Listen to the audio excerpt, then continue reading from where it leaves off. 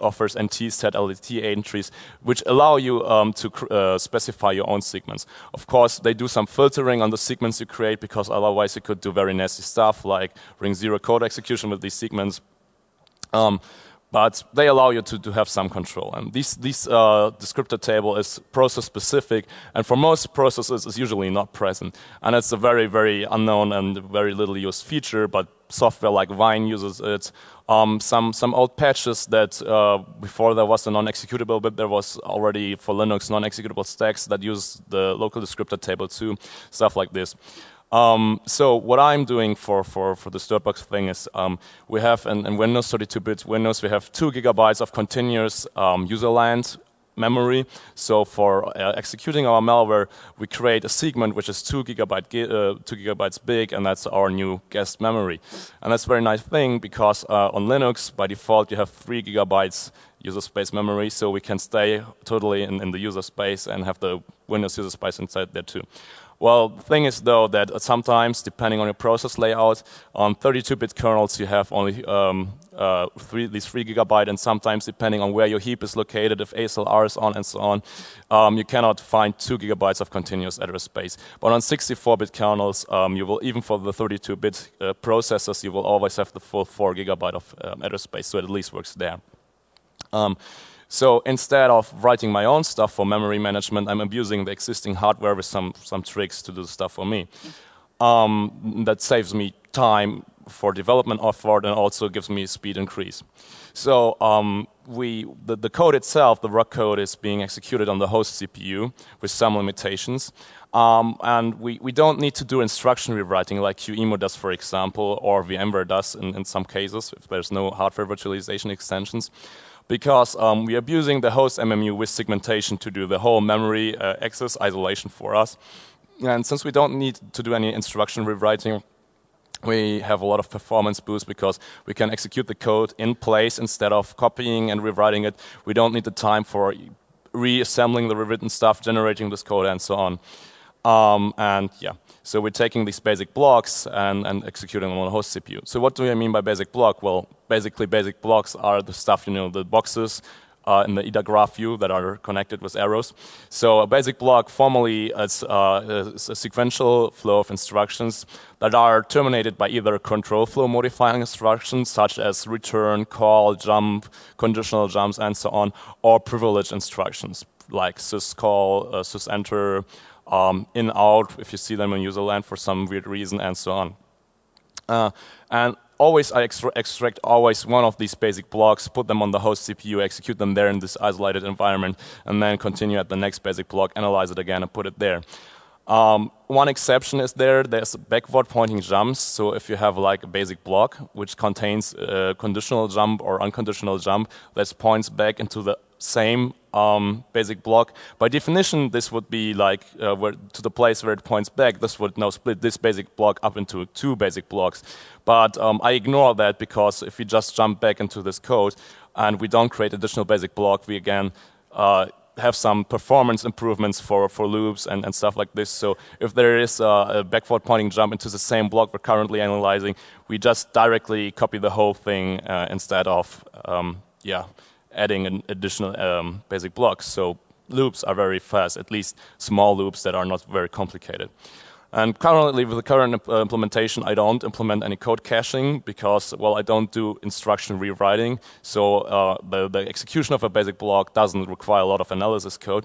Uh, and therefore, there isn't a huge uh, benefit from code caching. The only thing you could really cache is the length of the basic block you determined uh, just, but yeah, that's just an integer. And it, I mean, I should try it out maybe, but I don't have, uh, I don't think I will have a lot of performance enhancement from that. So how are we handling self-modifying code?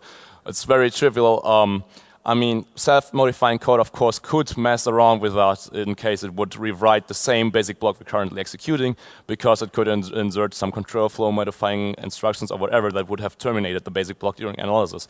The very simple solution is before executing actually the code, um, the, I am protecting um, the, the currently uh, executing page to be non-writable. So as soon as there's self-modifying code which tries to modify exactly inside the same page, Uh, a segmentation fault will be generated by the host operating system. I can catch that, and from there on, then start single stepping through the code, and then therefore allowing self modifying code.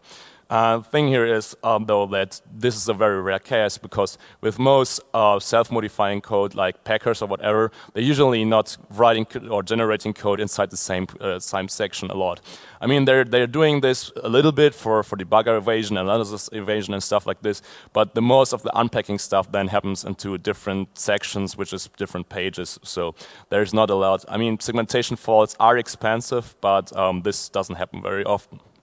So that's again a very cheap, hacky way to, to avoid development time, but it works and it's very performant. So I'm going to show you a little bit demo of, of the libcpu things. This is just some generic instruction stuff. So what I have here is um, a very, very simple um, test case code. It's just like a shell code, so there's no real binary format here, just a binary data. Um, this is a very simple code. It initializes the ECX register with a lot of iterations. It zeroes out the EAX register, and then in the loop itself, um, which you can see at the label called 1, it increments EAX, decrement ECX, and as long as ECX is not zero, it jumps back to the loop start. So it's a very stupid loop that just counts up the one register, counts down the other one, and then we end with an interrupt 3. So um, you would expect in the like emulation environment to take this a lot of time, but yeah, it's very fast. And why is that? Well, this is the debug output here.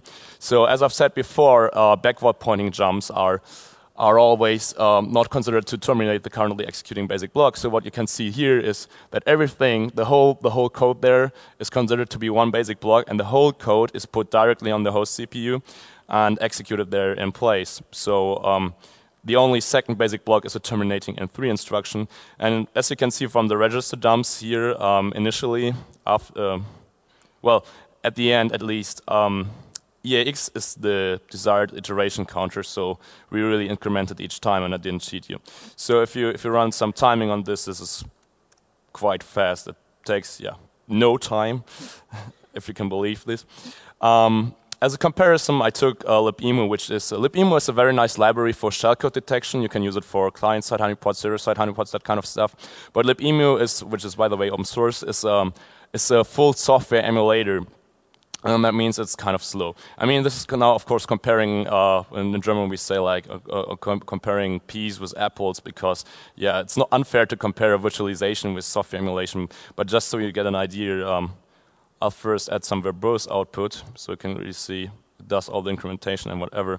But printing stuff is of course slow, so I will leave that out. But executing it, you will see that it takes a lot of time. And okay, yeah, it doesn't take, oh, well, it did take some time at least, comparably longer.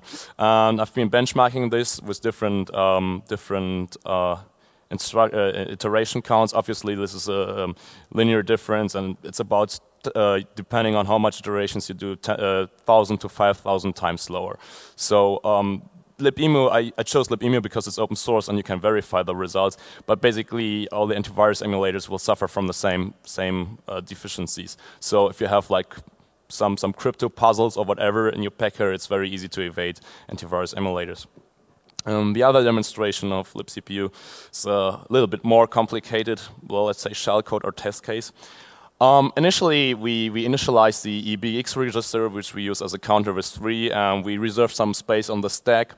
And then we use uh, fnop and fnstore environment to uh, store the floating point environment uh, which also includes the address of the last uh, floating point um, instruction executed. So this combination of these three instructions there basically just gets me the value of, of the address of, of this point here, of this label, into the ESI register, which where we will start copying from.